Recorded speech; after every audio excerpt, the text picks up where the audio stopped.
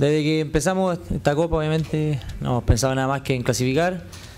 Eh, tenemos la primera opción, ganamos el partido de visita y mañana tenemos que arrochar la, llave. Sabemos que no va a ser un partido fácil, el, equipo uruguayo demostró ya que es un equipo que corre mucho, que, mete bastante y va a pelear su clasificación hasta el final. Así que nosotros obviamente con la, con la, confianza de un poco de, tener una ventaja, pero esa tenemos que demostrar mañana dentro de la cancha.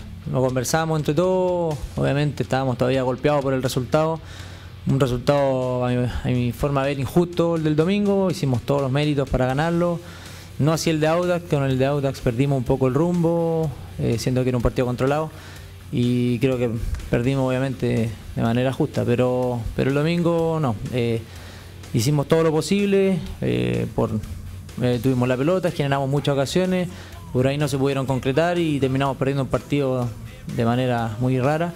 Pero nada, tenemos la confianza de que jugando así y, manteniendo un poco lo que estamos haciendo, un orden defensivo, los resultados tienen que llegar. Tenemos tenemos un equipo, tenemos jugadores, tenemos, tenemos un, plantel que está preparado un poco para revertir los malos resultados y esperemos que, de aquí en adelante estos partidos eh, que se dan de esta manera los podamos ganar y, obviamente marcar diferencia. Ellos, cuando fuimos a allá plantearon que la responsabilidad era nuestra porque ellos estaban debutando en un campeonato, pero nosotros sabemos partido a partido que siempre va a ser nuestra responsabilidad y la presión la tenemos nosotros. Siempre por estar en Colo Colo tenemos que eh, salir a ganar.